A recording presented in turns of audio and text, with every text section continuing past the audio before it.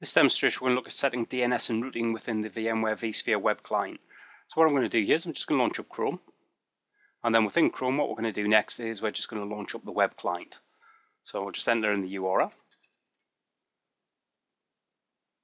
We'll proceed, I'm just using the self-signed certificate. And then the next thing we'll do here is we'll just log in with our root username and password.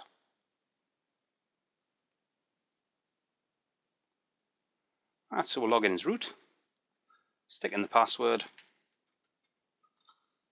and this will then take us in the web client. Right, once we're in the web client, next thing to do here is I'm just going to come to vCenter.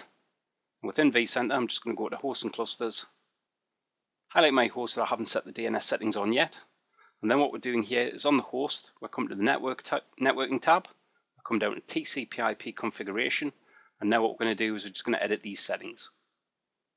When we edit the settings, one of the things we have here is we've got the DNS configuration.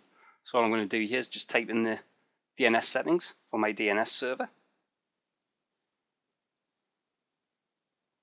So what we're going to do here is just going to type it in. So it's 172.20.10.10.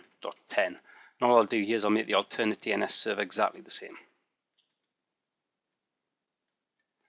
Now we've done that, we'll just go to routing and all we'll do here is we'll just put in our default gateway settings as well. So in the case of mine here, it's exactly the same, so it's 172.20.10.10. And we'll just click OK at this point here. And now what we've done here is we've set up our DNS and our default gateway settings. That's the end of this demonstration. Thanks very much.